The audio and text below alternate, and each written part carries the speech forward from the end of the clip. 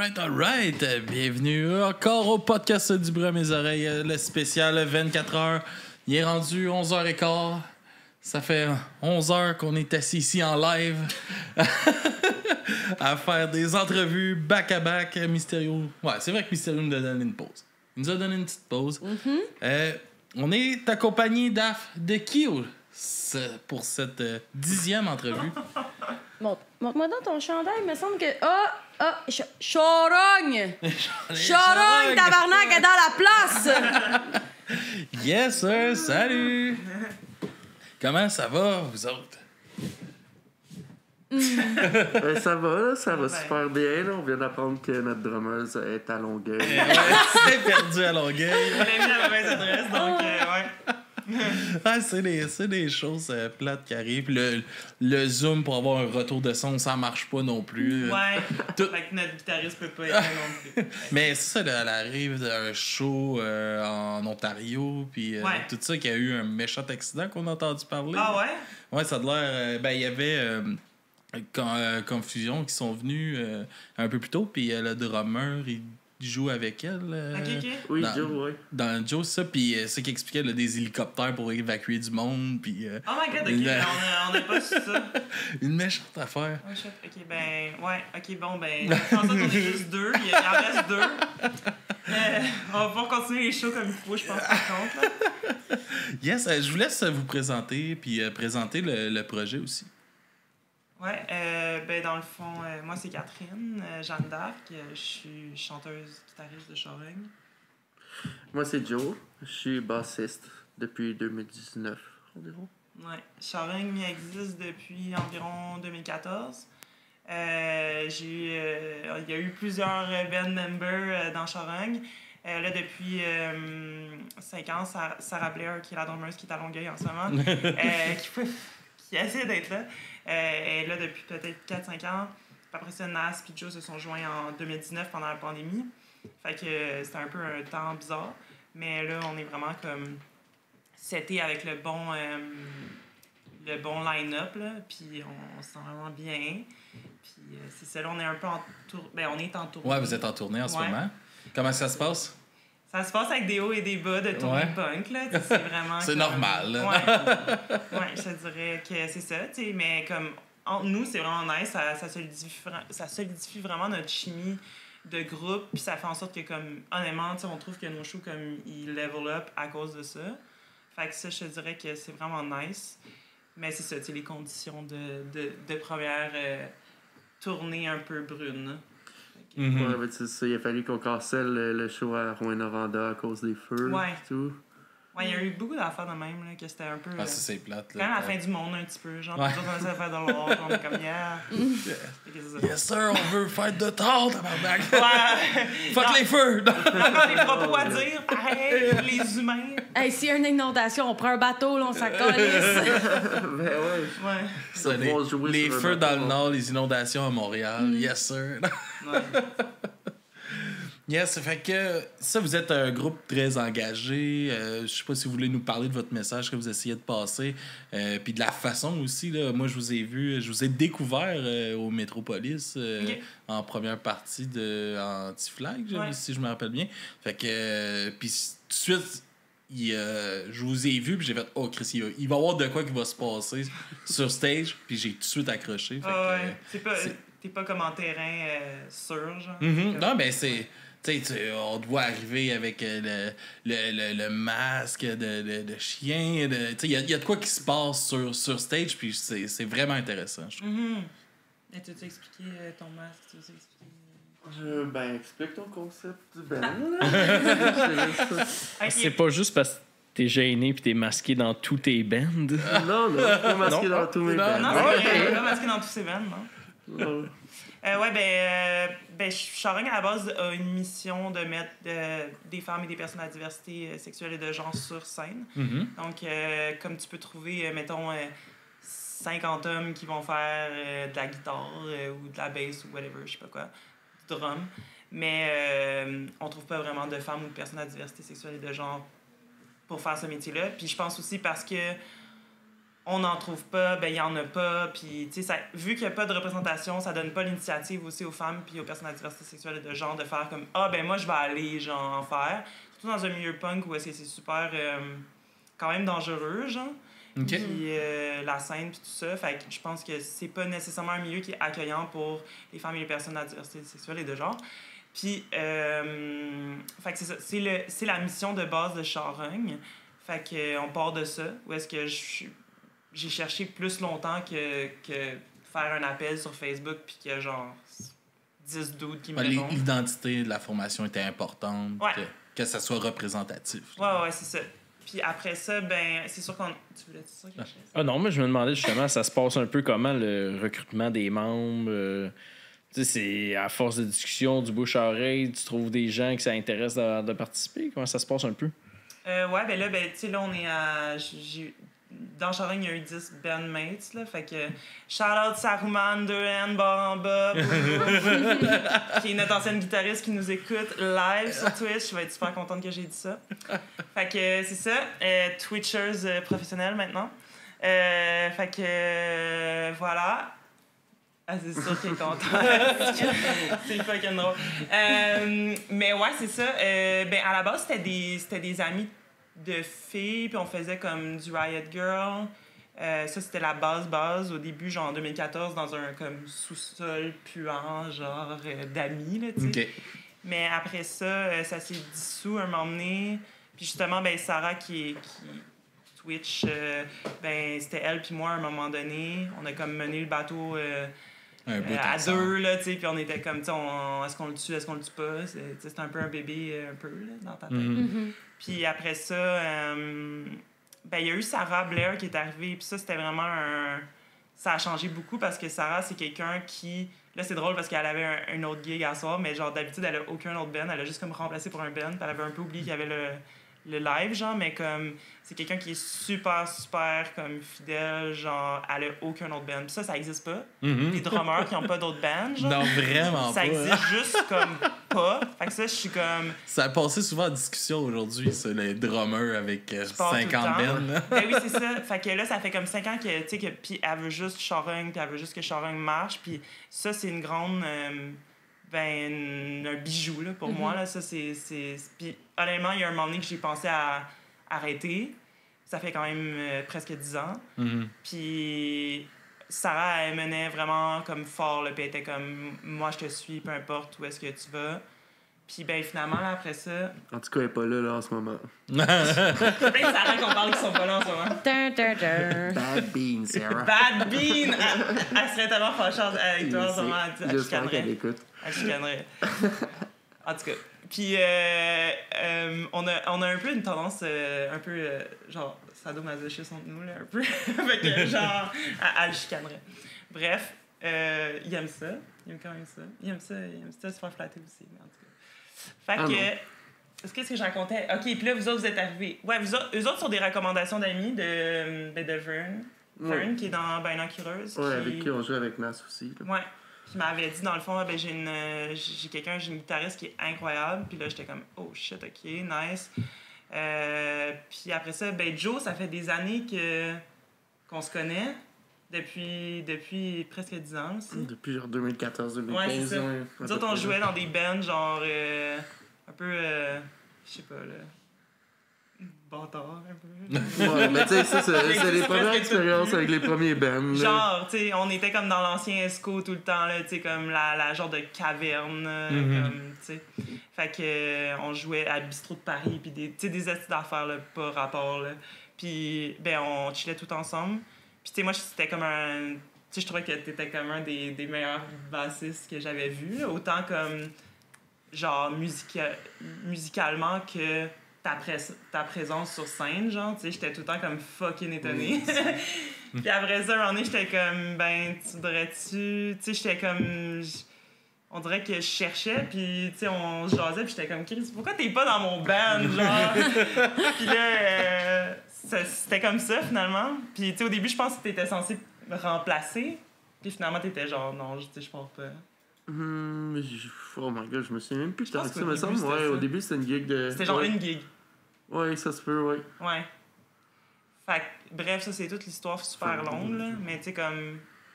Là, tu sais, on, on est vraiment seté, puis c'est comme ça qu'on trouve. C'est ça la question. C'est comme ça qu'on trouve les, les bandmates. Mais j'en ai. Bouche à oreille, là. Hein? Bouche à oreille, ouais. Puis, tu sais, aussi, tu sais, faut que les personnalités fit, faut que la, la méthodologie de travail fit, faut comme t'aies les mêmes, euh, genre, ambitions, là. Mhm. C'est comme moi, mes ambitions sont quand même grandes, fait que genre, je peux pas jouer avec des gens qui sont comme chilleux, genre, qui boivent, genre, tout le temps, que je peux pas. Genre, je suis juste comme. Tu sais, si tu vois, genre, une caisse de 24 dans le jam, puis t'es comme, on verra, genre, dans trois mois, si ça me tente de jammer, je suis comme, excuse, mais on peut pas travailler ensemble, fait que. Non, non, c'est. Il y, a il y a un travail sérieux, puis il faut que ça avance. là. Ouais. Ben, c'est juste qu'il y a des. Comme il y a des bands comme ça, il y a des bands que c'est c'est plus pour chiller, puis c'est correct. Mais, tu sais, moi, c'est comme. Ça fait longtemps que ça. Que tu travailles dessus. Ouais, ouais, Mhm. que c'est ça. Cool, cool. Puis, euh, puis aussi, c'est ça, comment, comment tu vois que ça a évolué, justement, tu sais, par rapport au euh, la représentation des, des femmes, puis euh, tout ça dans, dans le, dans Dans le scène? Euh, ben, ça, fait, ça, ça fait quand même 10 ans là, que, que tu roules dans, dans, dans ce milieu-là. là. au début, il y en avait vraiment pas. Au début, euh, on était comme un des seuls. Avec comme. Je pense qu'il y avait euh, justement Dead Proof qui a fait notre lancement, qui était eux autres aussi existaient. Il y avait Ratchet Cake qui n'existe plus. Il y avait une couple de bands qui ont comme existé pendant un an, deux ans, puis qui n'existent plus. Puis. No Bro, il existait-tu à ce moment-là? Je sais pas quand est-ce que No Bro ont parti. Mais c'était à peu près peut-être là.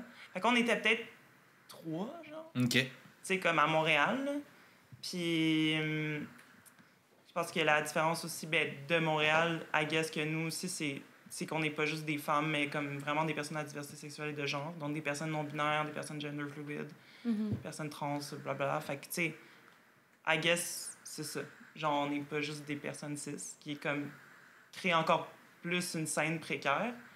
Euh, là, ça a vraiment changé, il y en a vraiment plus. Euh, puis, tu sais, je sais pas si c'est parce qu'il y a plus de représentation maintenant, fait que il y en a plus, ou si c'est plus safe, ou. Mhm. Je sais pas qu'est-ce qui s'est passé. Je sais qu'il y en a plus. Fait que ça, c'est nice. À Montréal, ça se passe quand même bien euh, pour la safety. Mais euh, ailleurs, pas tant. Mhm. Ailleurs, c'est plus compliqué. Ouais. Je, je sais pas, ailleurs. Je rencontre, ben, je rencontre des défis que je rencontre. Ailleurs, je rencontre des défis que je rencontrais il y a 10 ans à Montréal. OK. Que je suis comme fucking étonné, genre de commentaires vraiment whack, genre, puis que je suis comme.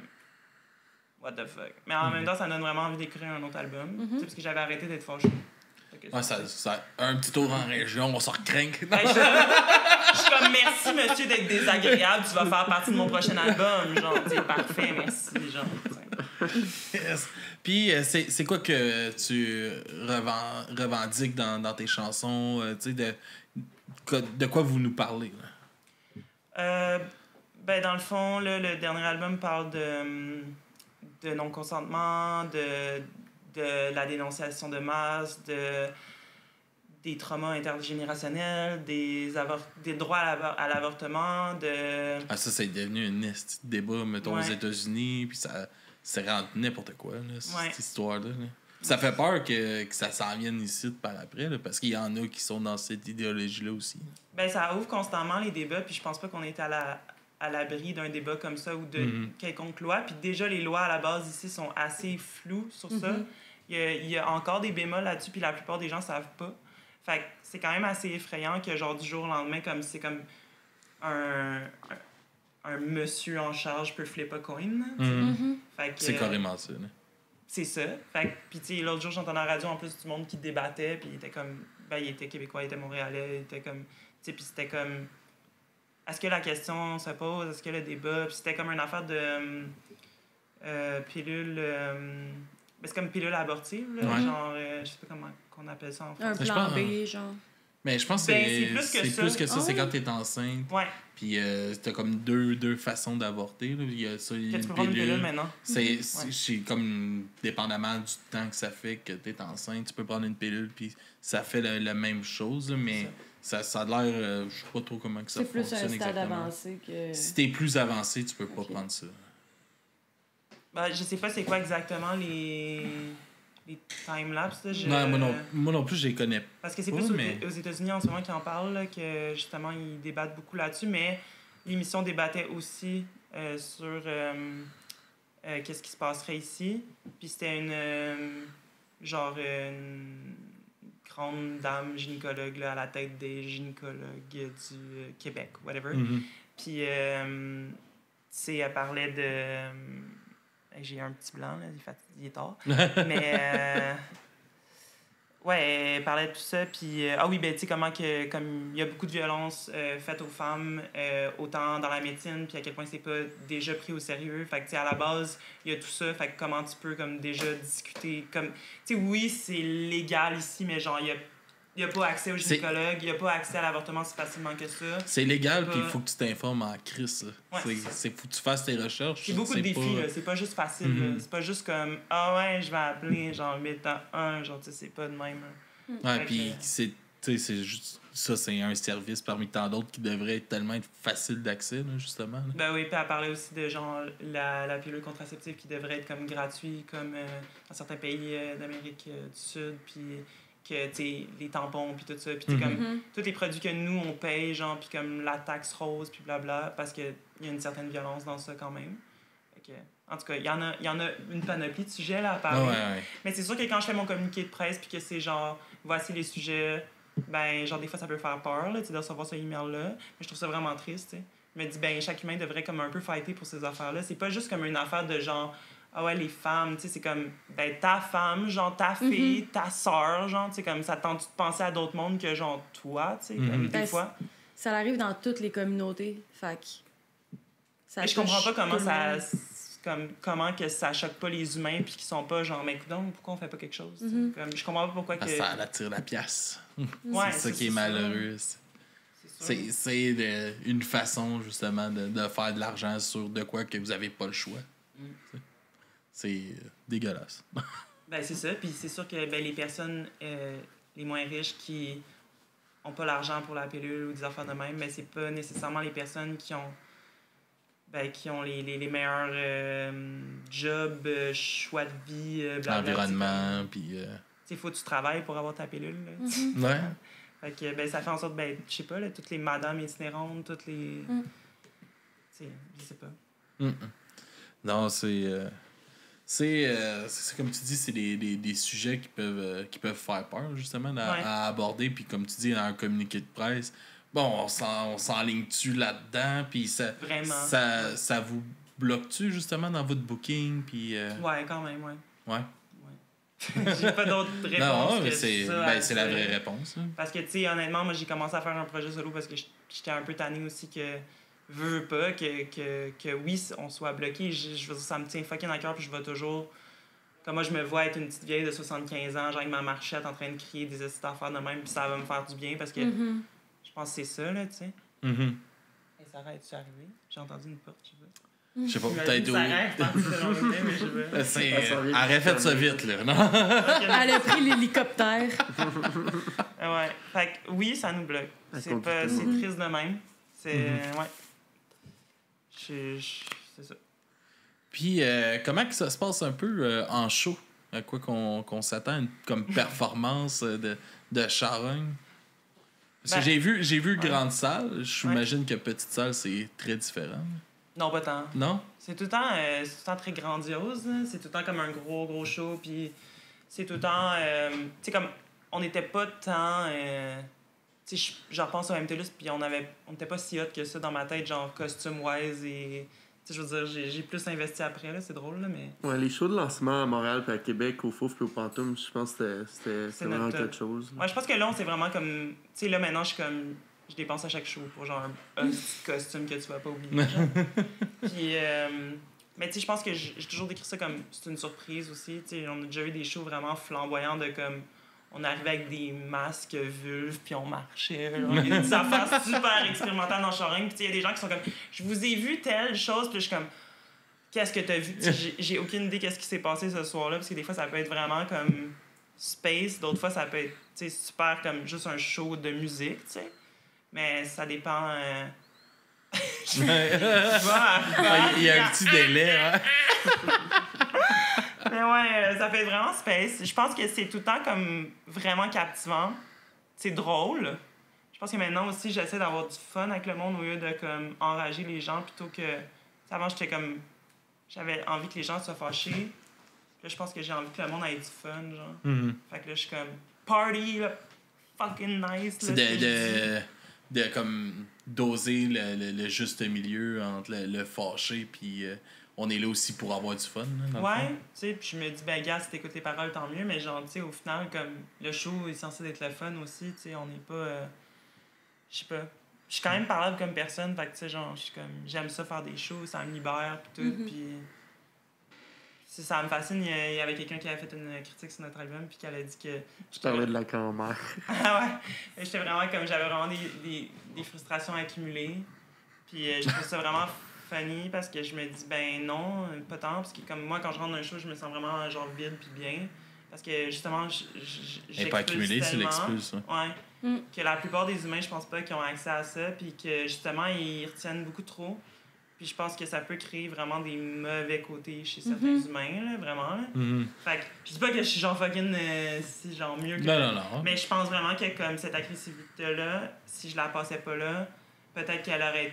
Je viens d'un background un peu fucked up, fait que peut-être qu'elle aurait été vraiment euh, comme mis ailleurs dans une place qui aurait pas été super belle. On sait pas, mais tu sais, Mm. peut-être.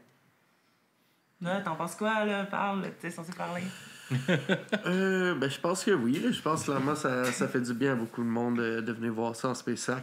En, En spectacle. en, spe- en spectacle. Euh, je pense que justement, ça, ça, ça défoule de voir ça aussi sur scène euh, par, euh, par catharsis, euh, par catharsis, comme on dit. Le- de, de se projeter puis de, de, de juste. euh, parce que ça. Je sais pas comment dire. Il y a vraiment une tension. Je me souviens aussi avant que je rejoigne le groupe, quand je quand j'avais vu en, en show, il y avait vraiment comme une sorte de tension qui était là puis qui, qui, qui montait. Là, puis c'est... T'as envie de aussi euh, te laisser aller. Ouais, genre, non, ouais. ben c'est ça, là, tu sais, ça, ça, je sais pas comment dire, là, ça fait, ça fait du bien à voir, c'est, c'est, c'est comme pesant, mais un bon pesant, puis ça fait du bien que ça, ça sorte, là. Mhm. Je pense que c'est ça aussi, tu sais, on, on, on expulse tellement comme nos sexualités, nos, nos pulsions de tellement d'affaires, tu sais, autant Joe qui est en puppy ou comme toutes nos tendances comme un peu sadomaso entre nous, tu sais, comme, tu sais, c'est le fun à explorer, genre aussi dans un milieu qui est pas sexuel ou comme, tu sais, juste, c'est de l'art, puis un peu comme, euh, tu sais, je sais pas si vous connaissez les Saint-Martyrs, mais tu sais, eux autres aussi, ok, ben eux autres aussi, tu sais, ils le font sur scène, tu sais, euh, c'est très comme BDSM sur scène, puis tu sais, genre, je trouve ça intéressant que de, de sortir les cultures qui sont sexuelles puis les mettre ailleurs quand genre ça peut devenir comme quelque chose de tellement libérateur tu sais Mhm. que ça soit genre pas sexuel que ça soit pas euh, aussi euh, Oui.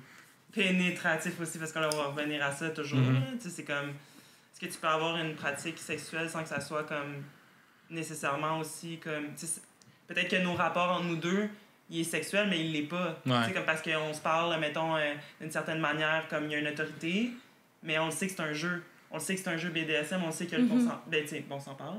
Aussi on se demande des fois on est comme c'est tu trop euh, non, non, ok c'est bon. Mais tu sais comme je pense que cette pratique là elle est faite entre nous aussi même si on on n'a pas de pratique sexuelle ensemble. C'est fucké mais genre ouais Ben, tu après ça, genre, euh, le BDSM, je pense qu'il y a juste beaucoup de monde qui voit ça comme de quoi de vraiment sexuel, mais ça, ça peut Ouais. être vraiment thérapeutique aussi pour un paquet de monde, là, vraiment dépendamment, dépendamment des jeux puis des, des plays, là, mais... Mhm. mais comme le tu sais, le shibari là tu sais c'est comme le shibari c'est un art aussi puis c'est pas nécessairement comme tu sais puis il y a tellement de monde qui voit ça comme ah ben je vais attacher quelqu'un puis je vais finir par comme avoir du cul avec alors que c'est- ben c'est censé être un art puis c'est censé être comme photographique c'est censé être comme une, grosse part que c'est esthétique à la base. Fait que, tu sais, c'est c'est ça, c'est plate que c'est jugé, c'est plate que les gens se jugent d'avance là-dessus, puis que, tu sais, je sais pas. Mhm. Ben, c'est de l'assumer, mais dans le fond, vous, quand vous créez, c'est vraiment comme. Tu sais, il y a le côté BDSM, il y a le côté j'aime ça, mais il y a aussi le côté artistique, Ouais, j'imagine, de, de la chose. Fait que, comme tu Ah, dis, il parce y qu'il y, a en a, il y en a vraiment, là, un côté artistique Ouais. dans toute cette scène-là. Tu sais, Il y a des, même les, les festivals qui, qui, vont, euh, qui vont mettre ça de l'avant. Puis c'est quand même. C'est c'est un milieu que moi, je connais moins, mais tu sais, c'est- Mm-hmm. c'est de quoi qui. Il y a des costumes flamboyants dans, dans ça, de dominatrice ou peu Mhm. importe. là. Ouais. Mais comme on, a fait un show à Ottawa qui était un, un queer lace par, euh, letter and lace party. C'était justement, tu sais, toutes les personnes queer, toutes les personnes qui avaient comme toute leur sexualité out there, puis c'était vraiment cool. Puis, tu sais, c'était tellement comme beau. Parce que quand on est arrivé, il y avait une, une personne qui faisait comme. Euh, elle était genre accrochée à des chaînes.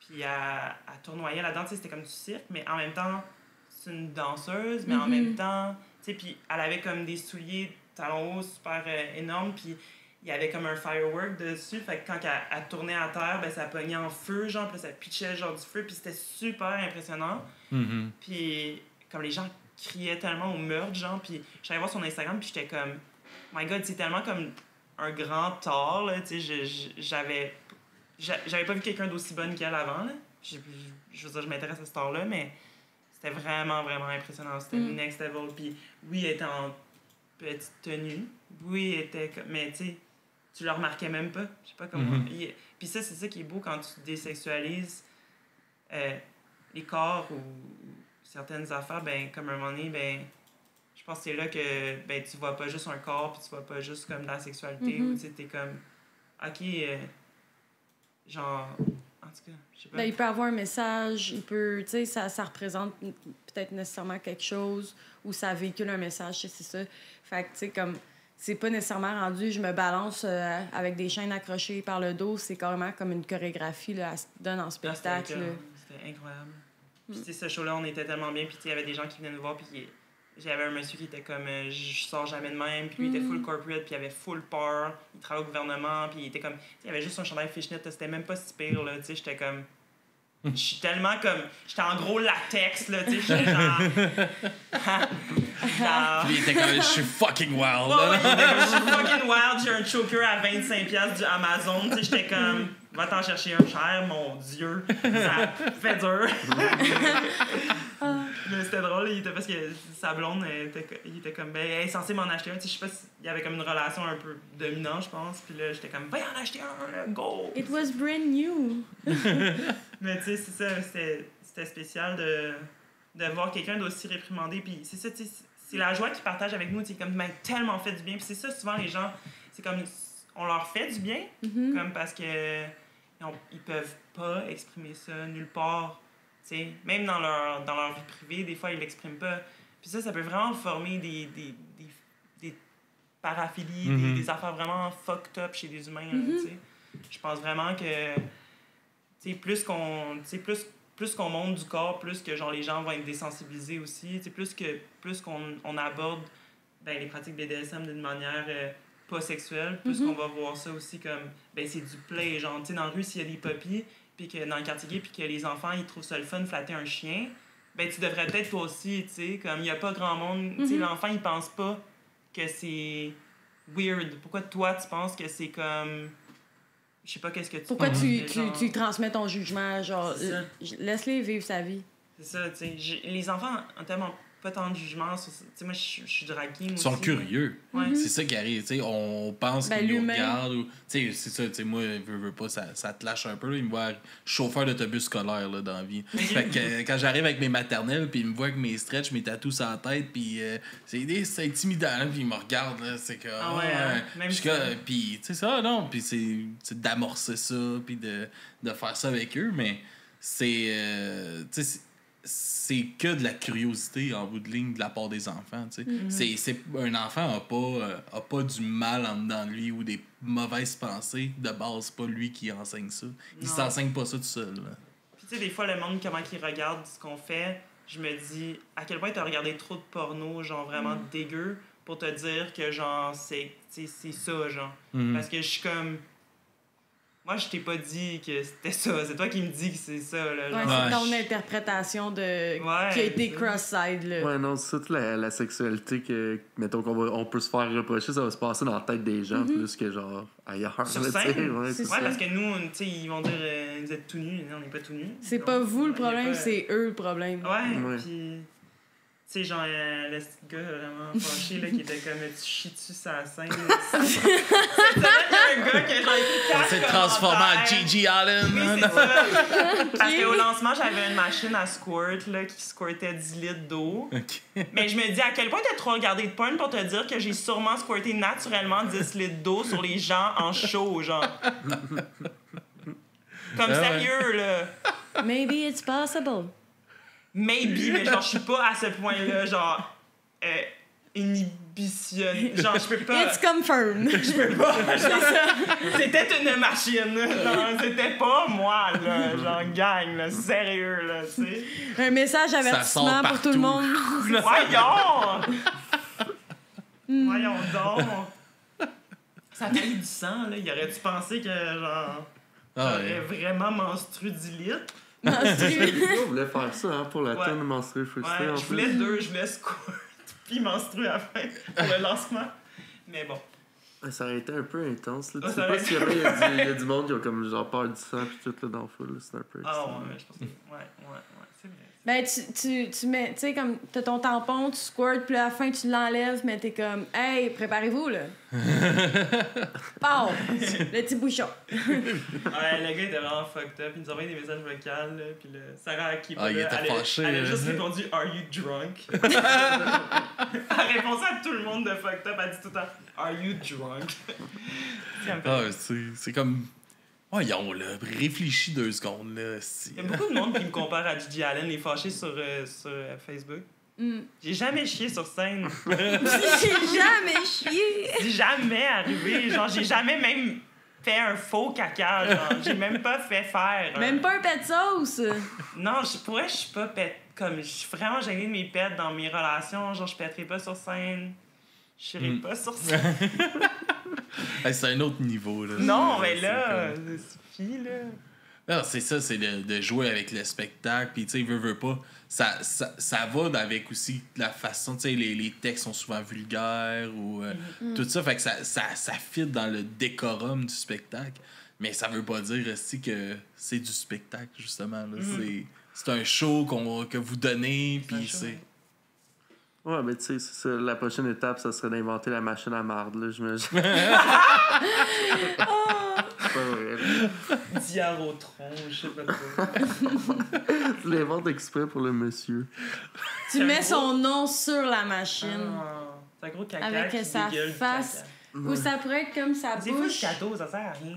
C'est ça sert juste à rien. Genre, Hey. Ça n'a pas rapport avec nous. Ah, ok, non, mais ça, on divague. Yes, puis euh, on va euh, commencer à rapper ça parce qu'on va atteindre notre heure déjà quasiment. Euh, où est-ce qu'on peut, où est-ce qu'on peut vous suivre? Puis après ça, je vais te laisser nous présenter aussi les deux chansons que tu m'as envoyées. Oui, euh, on peut nous suivre sur Instagram, Charogne Baramba Band, et euh, sur Facebook, Charogne. Puis avec un chapeau sur le A, accent circonflexe. Euh, on a tout autre chose. On n'a pas encore de TikTok, on va en avoir un euh, quand je vais me décider que je suis, je suis pas trop Tu vieille mets à pour ça, euh, hein. avoir peur de ça. Quand tu vas commencer à travailler là-dessus, là. Ouais, c'est- on a un email. Suivez-nous sur notre email. Non, mais Charogne Baramba Band, puis Charogne sur Facebook. C'est ça. Alright. Puis tu m'as envoyé, c'est ça, deux chansons euh, qui sont. euh, deux secondes. Je vais juste les retrouver ici. Euh, Il y a L'auto des femmes Ouais. et euh, Je peux pas montrer mes seins. Yeah. Parle-nous de ces deux chansons-là avant qu'on ait écouté ça. Ok. Euh. Le tour des femmes, c'est avec la base de Joe. Non. Mais non, c'est la baisse à Hélène. Non. On parlera pas de ça. Mais euh, ouais, euh, le tour des femmes, c'est une tune qu'on a sorti un peu. C'est parce que j'avais pas le vidéoclip de notre euh, nouveau euh, album. Ok. Fait que c'est une chanson qu'on a sortie en single juste avant notre dernier album. Euh, c'est ça, euh, bout de clip de show, euh, vous allez voir. Il y, a, il y a le squirt là-dedans, si vous regardez attentivement, il y a la machine à squirt. Euh, vous pouvez peut-être faire un Où est Charlie dedans. Hmm. Puis, euh, je peux pas montrer, mais ça, c'est une tune qu'on a sortie en 2017, qui est probablement notre plus écouté, plus euh, vu euh, depuis longtemps. C'est aussi un clip euh, super beau, je trouve, réalisé par Alex Pouliot. Mais ils sont beaux en général, vos clips aussi. Là. Ceux-là que j'ai écoutés, là, j'ai, vraiment trouvé ça le fun. écouter souvent une petite histoire. Puis, oui, j'essaye. mais ça rajoute de quoi? Ouais. Ça rajoute un storytelling à, à la chanson. Ben, on essaie de rendre ça vraiment intéressant, puis la personne avec qui je travaille, Alex Pouliot, c'est tout le temps comme j'arrive avec comme mon, mon cahier de trois pages de notes de il va se passer ça, il va se passer ça, il va se passer ça, puis il met full bien ça en image, c'est vraiment hot. Là, toutes les femmes, par contre, c'est moi qui le fais, là. Discours, full disclosure, là, c'est comme... Ouais. Alright, ben on va aller écouter ça. Merci beaucoup d'être euh, Yes. venu jaser avec Merci. nous autres. On était content de, de vous recevoir. Puis euh, on va être de retour avec euh, No Hope for Mankind après un band de Beat Down de Montréal avec euh, Catherine, la, chan- la chanteuse. Fait que on vous revient tout de suite après.